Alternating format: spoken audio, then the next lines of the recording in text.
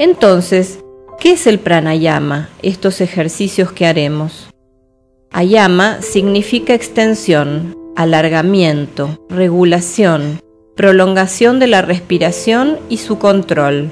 El pranayama es un arte que posee técnicas para hacer que los órganos respiratorios se muevan, se ensanchen a voluntad de forma rítmica e intensa.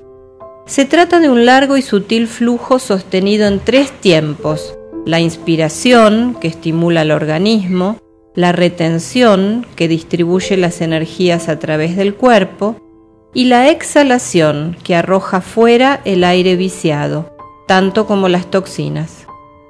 Entonces, respirar bien no es la mera respiración habitual y automática, es una abundante toma de oxígeno que produce sutiles cambios químicos en nuestro cuerpo.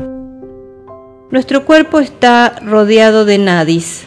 Los nadis son tubos, conductos, canales que transportan aire, agua, sangre, nutrientes y otras sustancias por el cuerpo. En lo físico los conocemos como arterias, venas, capilares, bronquiolos, pero en los cuerpos sutiles y espirituales los nadis sirven de canales, canales para la energía cósmica, vital, llamada kundalini, así como para las sensaciones, para la conciencia y para el aura espiritual. En ellos se encuentra el prana, el aliento de la vida. Todos los nadis tienen su origen y punto de partida en un centro por debajo del ombligo, llamado jara, o también en el corazón, según los autores. Justo debajo del ombligo o a 12 dedos por encima del ano y de los órganos genitales, existe un bulbo en forma de huevo desde el que parten 72.000 nadis por todo el cuerpo, que se ramifican en 72.000 más. Llamamos kundalini a la energía cósmica, divina. A menudo la vemos simbolizada como una serpiente dormida, enroscada, tres vueltas y media, y en su boca, que mira hacia abajo, sostiene su propia cola. Se encuentra dos dedos por debajo de la zona genital y dos por encima del ano, en la base de la espina dorsal.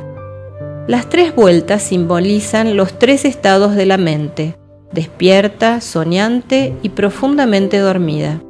El cuarto estado combina y trasciende los otros tres y está representado por la última media vuelta. Esta se alcanza en samadhi, es decir, recién cuando alcanzáramos la iluminación.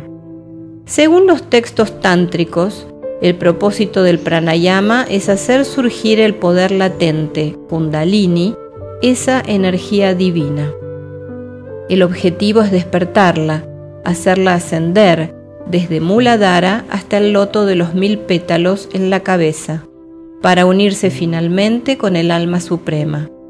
Allí se cruzarían las barreras del espacio, del tiempo lineal, de la identidad separada, tornándonos finalmente uno con el universo.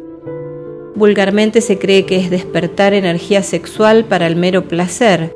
En cambio, despertar la kundalini sería la sublimación de la energía sexual hacia lo divino.